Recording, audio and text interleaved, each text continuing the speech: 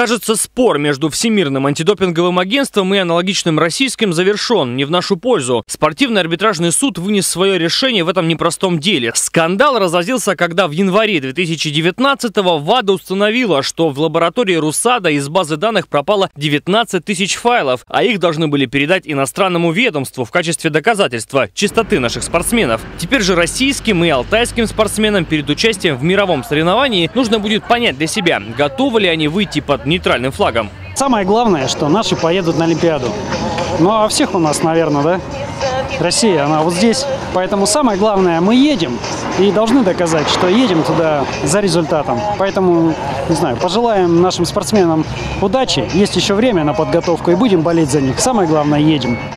Впрочем, история участия в больших соревнованиях наших спортсменов в последние годы как сериал. Наши сначала надеются, а потом смотрят, как эти надежды рушатся. Легкоатлет, на которого делали ставки на Олимпиаде в 2016-м, Сергей Шубенков, так на нее и не приехал. Олимпиада в Токио в 21-м в карьере спортсмена, скорее всего, последняя. Он к ней готовится уже под нейтральным статусом, он подал на него заявку. Сам Шубенков эту тему не комментирует. Кстати, легкоатлеты, по словам тренера Сергея Клевцова, сейчас морально даже в некотором преимуществе. У них выбора, под каким флагом выступать выступать нет уже давно. Для других видов спорта, да, ситуация, в принципе, кардинально меняется. Теперь все у нас нейтралы. Теперь все у нас, в принципе, будут э, представлять Россию в каком-то другом статусе, нежели тот статус, нежели тот статус, который у них был. Без флага, без гимна, без ничего. Это, естественно, удар. Но спортсмен, который добивался хотя бы один раз выступить на Олимпиаде, Паралимпиаде, он достоин ее, этого выступления. И раз он попадает состав команды для выступления, он должен выступить, смотря нейтральный статус. Воспитанников Подпального в 2016-м тоже не допустили к Олимпиаде в полном составе. В Токио они едут под нейтральным флагом. Тренер призывает всех спортсменов отказаться от допинга. Принимает один, страдают все. На фоне ограничений сложнее работать с будущими чемпионами. Здесь, наверное, знаете, не мотивация. Мотивация, наверное, не меняется. Здесь вот именно психологический настрой. Это же все равно давление, да.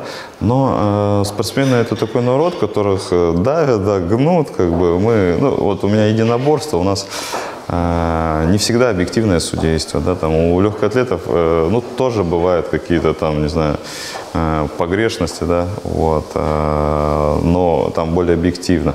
Вот. И когда на спортсменов, наверное, дополнительная нагрузка, и тем самым боец проявляет свои какие-то волевые качества, и он преодолевает. Но русский народ, он волевой сам по себе, я думаю, нас это только закалит.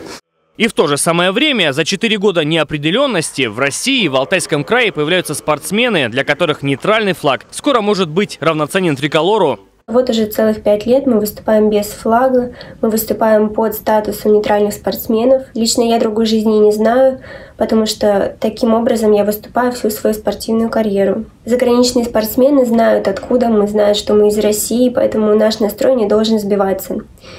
И я думаю, что на Олимпийских играх мы должны быть только злее, только увереннее в себе, мы должны показывать все, на что мы способны.